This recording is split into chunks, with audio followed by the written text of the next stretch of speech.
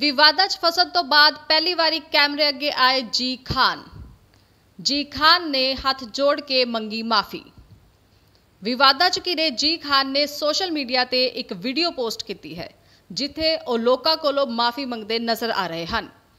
ਇਸ ਵੀਡੀਓ ਦੇ ਜ਼ਰੀਏ ਜੀ ਖਾਨ ਨੇ ਕੀ ਕਿਹਾ, ਆਓ ਤੁਹਾਨੂੰ ਵੀ ਸੁਣਾਉਂਦੇ ਹਾਂ। ਸਤਿ ਸ਼੍ਰੀ ਅਕਾਲ ਜੀ, ਮੈਂ ਜੀ ਖਾਨ।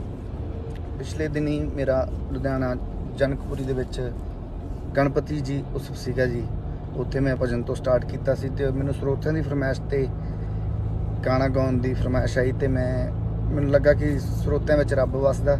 ਇਸ ਕਰਕੇ ਮੈਂ ਉਹ ਗਾਣਾ ਗਾ ਬੈਠਾ ਜੀ। ਮੇਰੇ ਤੋਂ ਗਲਤੀ ਹੋਈ ਹੈ ਜੀ, ਮੈਂ ਮੰਨਦਾ ਇਸ ਗੱਲ ਨੂੰ। ਔਰ ਜੇ ਕਿਸੇ ਨੂੰ ਵੀ ਮੇਰੀ ਇਸ ਮੇਰੀ ਗੱਲ ਦਾ ਬੁਰਾ ਲੱਗਿਆ ਤਾਂ ਮੈਂ ਹੱਥ ਜੋੜ ਕੇ ਤੁਹਾਤੋਂ ਮਾਫੀ ਮੰਗਦਾ ਜੀ। ਮੇਰਾ ਕੋਈ ਇਦਾਂ ਦਾ ਮੋਟਿਵ ਨਹੀਂ ਸੀਗਾ ਕਿ ਮੈਂ ਕਿਸੇ ਦੀ ਭਾਵਨਾਵਾਂ ਨੂੰ ਠੇਸ ਪਹੁੰਚਾਵਾਂ ਤੇ ਅਗੇਨ ਸਾਰਿਆਂ ਤੋਂ ਹੱਥ ਜੋੜ ਕੇ ਮੈਂ ਮਾਫੀ ਮੰਗਦਾ, ਮੈਂ ਤੁਹਾਡਾ ਆਪਣਾ ਹੀ ਆ ਤੁਹਾਡੇ, ਤੁਸੀਂ ਬਣਾਇਆ ਮੈਨੂੰ, ਤੁਸੀਂ ਅੱਗੇ ਮੈਨੂੰ ਬਣਾਉਣਾ।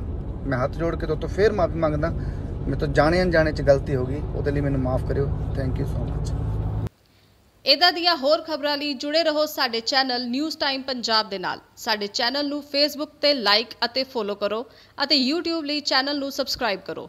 ਤੇ ਬੈਲ ਆਈਕਨ ਨੂੰ 올 ਤੇ ਸੈੱਟ ਕਰੋ ਤਾਂ ਜੋ ਸਾਡੀ ਹਰ ਨਵੀਂ ਅਪਡੇਟ ਦਾ ਨੋਟੀਫਿਕੇਸ਼ਨ ਮਿਲ ਸਕੇ ਤੁਹਾਨੂੰ ਸਭ ਤੋਂ ਪਹਿਲਾਂ। ਧੰਨਵਾਦ।